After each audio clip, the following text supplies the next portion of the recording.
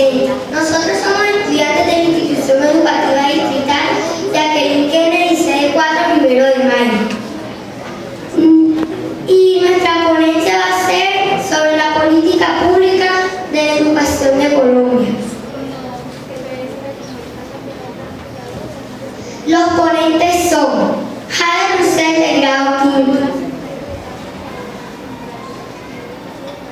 Jesús Alfredo Manjarres del grado quinto, Luisa Gámez del grado cuarto, Esmeyer Miranda del grado cuarto y mi nombre es André Infante del grado quinto. Y muchas gracias al Colegio de la Esperanza por habernos invitado.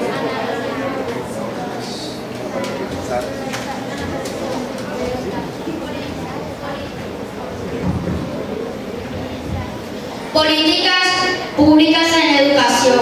Las políticas públicas de infancia y adolescencia desarrolladas en los últimos años del mundo y en el país para la garantía y defensa de los derechos parten del compromiso asumido por los gobiernos así como las organizaciones sociales. Este es un verdadero pacto a favor de los niños, las niñas y los adolescentes.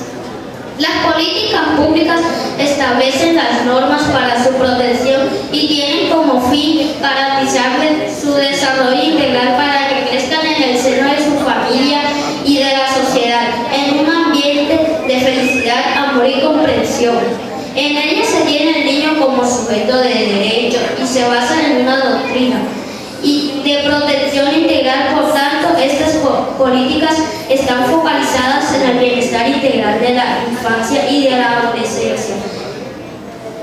En lo que se respecta a esas políticas públicas en nuestro país, el gobierno ha hecho especial énfasis en el reducir las brechas existentes. La primera es la diferencia entre educación urbana y rural.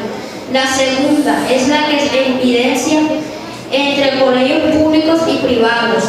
La tercera es la brecha entre colombianos de ingresos bajos y altos en materia de educación. Por todo lo anterior, se hace necesario acabar la diferencia en la calidad de la educación.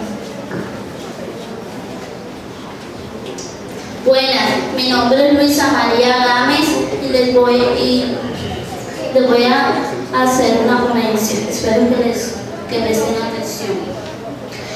El gobierno, el lema del presente gobierno es educación de calidad en el camino para la prosperidad.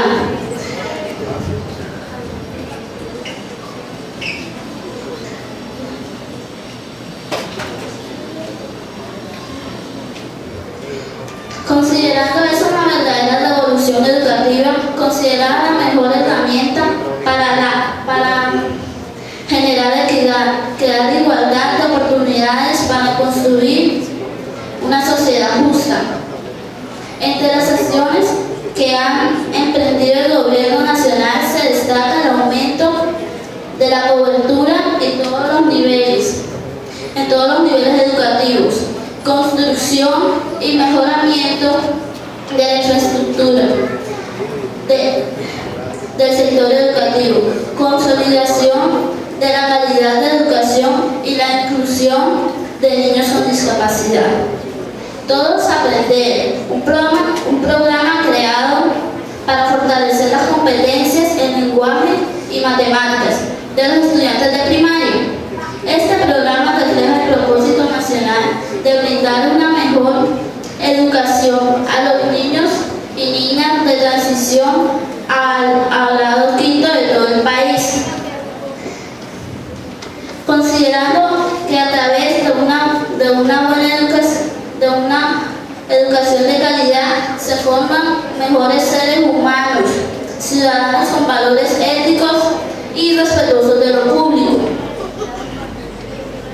que ejerzan los derechos humanos y convivan en paz. Una educación que ejerza oportunidades legítimas de progreso y prosperidad para los estudiantes y para el país. Para tal fin, el gobierno ha proporcionado los elementos pedagógicos tales como textos de matemáticas y castellano, guías pedagógicas y capacitaciones constantes para los maestros.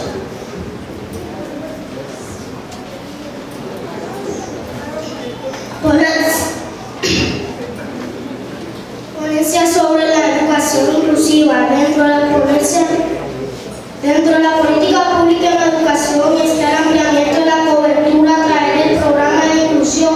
Tradicionalmente, incluso hoy en día en diferentes regiones del mundo, el incluso de inclusión educativa ha sido restringido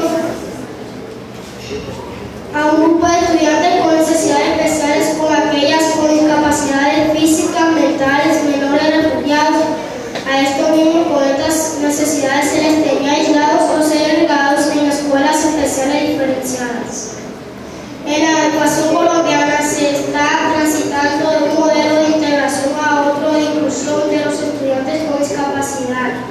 Y este concepto pretende que la escuela se transforme y que la gestión escolar se modifique para responder a sus condiciones particulares. La inclusión entonces atender con calidad, pertinencia y equidad a las necesidades comunes y específicas que estas, poblaciones presentan para lograr lo necesario que gradualmente el sistema educativo define y aplique concepciones éticas que permitan considerar la inclusión como un asunto de derechos y valores lo que está significando implementar estrategias de enseñanza flexibles e innovadoras que abren camino a una educación que enseña, enseñan, que reconoce estilos de aprendizaje y capacidades diferentes entre los estudiantes y que ofrezcan diferentes alternativas de acceso al conocimiento y evalúan diferentes niveles de competencia. Aquí cabe la pregunta, ¿por qué el niño o la niña con discapacidad no puede educarse en la misma institución que va su hermanito? Ellos también son sujetos de derechos. Los docentes diseñan estrategias pedagógicas pertinentes para lograrlo, que sus desarrollen. Intérprete de lenguas de para los sordos, lectores para los ciegos. Si un papá de menor con síndrome de Down cree que su hijo no va a aprender, no lo lleva a la escuela, o cuando lo matricula y se enfrenta a una situación, situación institucional negativa, lo retiran, se necesita una formación a padre y a madre que comprendan que su hijo tiene, es, tiene ese derecho, sabiendo que puede saber inconvenientes, puede ser superado con tensión pertinente.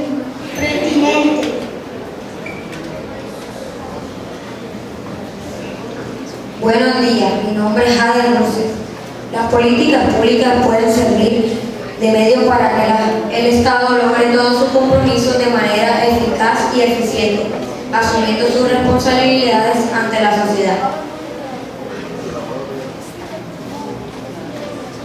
Es importante contar con la política pública nacionales y locales construidas desde la perspectiva de derecho. De esta manera veremos cómo el Estado y el distrito garantizan nuestros derechos en educación a favor de los niños, niñas y adolescentes. Hay que comprender la inclusión como condición para materializar los derechos de los niños y niñas, entendiendo y avanzando en la idea de que cada escuela enfrenta el desafío concreto de incluir a todos los estudiantes y no dejar a nadie por fuera. Es importante construir e implementar modelos diferenciales que respondan a las características multiétnicas y pluriculturales del país, donde el Estado debe capacitar a los docentes para el uso de herramientas y estrategias metodológicas que permitan a esta población estudiantil alcanzar los estándares básicos de competencias establecidas a los ajustes pertinentes. Es necesario disminuir la brecha social a partir de acciones afirmativas que respondan a las particularidades de la población, dando la posibilidad de acoger en las instituciones a todos los estudiantes independientemente de sus características personales, culturales o sociales, teniendo en cuenta de que todos puedan estudiar, siempre y cuando su entorno educativo ofrece condiciones y experiencias de aprendizaje significativas, en otras palabras, que todos los niños y niñas de una comunidad determinada puedan estudiar juntos.